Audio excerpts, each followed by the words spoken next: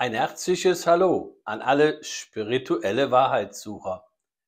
Der schwedische Kunstmaler, Opernsänger und Archäologe Friedrich Jürgenson entdeckte die Transzendentalstimmen im Jahre 1959. Als er dann Tausende von Stimmen auf Tonbändern hatte, wandte er sich zur Überprüfung an Fachleute. Sie kamen und untersuchten die Stimmen. Die Spezialisten vom Rundfunk brachten versiegelte Bänder und eigene Aufnahmegeräte. Von Schwindel keine Spur, kein doppelter Boden. Das war das Fazit ihrer Überprüfungen. Natürlich versucht die Wissenschaft das Phänomen objektiv und kritisch zu prüfen.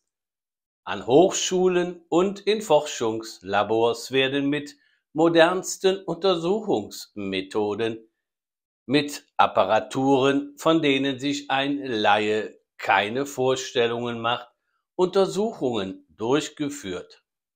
Hier werden die Stimmen seziert durch modernste Stimmenanalysatoren in ihrer Klangcharakteristik untersucht und oszillographiert. Laute in Bruchteile von Tausendstel Sekunden zerlegt, gefiltert und verstärkt und Klangbilder mit denen des Experimentators verglichen. So werden alle Aufnahmegeräte wie das batteriebetriebene Tonbandgerät, das Mikrofon und die benötigten Messinstrumente in einem sogenannten Faradayischen Käfig untergebracht. Dieser ist ein metallic, völlig geschlossener und geerdeter Behälter oder Raum, in den keinerlei Radiowellen eindringen oder sonstige elektrische Felder einwirken können. Die Stimmen sind genauso auf dem Tonband mit gleicher Intensität mit ihrer besonderen Eigenart. Und dies, wo doch keine Radiofrequenzen in den Käfig eindringen können.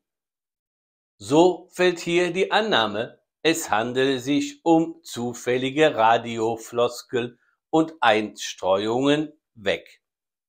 Nun stellt sich die Frage, was ist aus allem geworden? Mein Fazit leider nicht viel. Nur noch symbolisch gesehen befassen sich noch eine Handvoll Menschen mit der Transkommunikation, deren Ergebnisse aber in der Öffentlichkeit kaum wahrgenommen wird. Bisher gibt es viele Wissenschaftler, die der Ansicht sind, dass die Erforschung des geistigen Reiches unwichtig sei, da sie angeblich mit unserer Welt nichts zu tun habe. Diese wissenschaftliche Stellung führt leider dazu, dass ein sensationelles Phänomen in den Dreck gezogen wird und damit die gesamte Menschheit, denn ihnen wird weiterhin die Wahrheit unserer wahrhaftigen Existenz verheimlicht. Ich wünsche euch alles Gute und noch einen schönen Tag. Bis dann, Hermann.